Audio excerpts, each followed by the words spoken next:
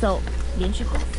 这几年来，国剧女王菲姐甘玉慧跟前男友丁阳基之间，在分手之后，不仅有官司在诉讼，双方都指控对方的不是。前天周末，又有自称菲姐助理的人，拿着大声公，背着大型看板，到北部的百货公司跟卖场专柜闹场，说丁阳基欠债不还。二零一八年九月十八号上午，丁阳基特别在台中召开记者会，表示他本人跟公司跟菲姐之间没有任何债务关系，两个人的官司也还没有定验，根本没有欠钱不还这回事。闹场的原因是说我欠他钱，那其实我们根本哪有欠他钱？我跟个人跟公司都没有欠他钱，有的话也在诉讼中，大家是有争论的。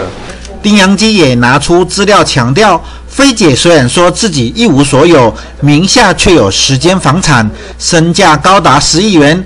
当时他公司盈余两亿多，就被菲姐拿走三亿，还到处说他忘恩负义，让他觉得十分难过跟困扰。而且公司的专柜经常被闹场，让百货公司也不太愿意跟他续约。三年前就把锅具代理权给转让出去，结果对方又跑到百货公司闹场，造成无辜第三者的困扰跟损失。其实这个是很冤枉的事情，也没有这没有这种事情。那他借这个理由呢，就去商场闹场。他冤有头债有主，他其实就算真的欠他钱，他也不应该用这种手段。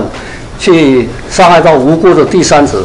在今天的这一场记者会之后，郭剧女王菲姐甘玉慧在接受记者电话访问时表示，她会在了解丁阳基今天的说法之后再做出回应。呃，是菲姐，菲姐，她是说你派人到那个百货公司去闹场，有点太过分了。那这个这点，我派的不是我派的，我跟你讲，这事情我出口之后，我当回报，因为现在断断续续都是不完整的不好的啦。这个事件到了最后是公说公有理，婆说婆有理。不过丁阳基表示，百货公司的闹场造成社会乱象，他觉得十分抱歉。他跟律师讨论之后，可能会采取法律行动。维护自身的权益跟企业形象，还给自己一个公道。记者肖佑金、杨静、陈文旭台中报道。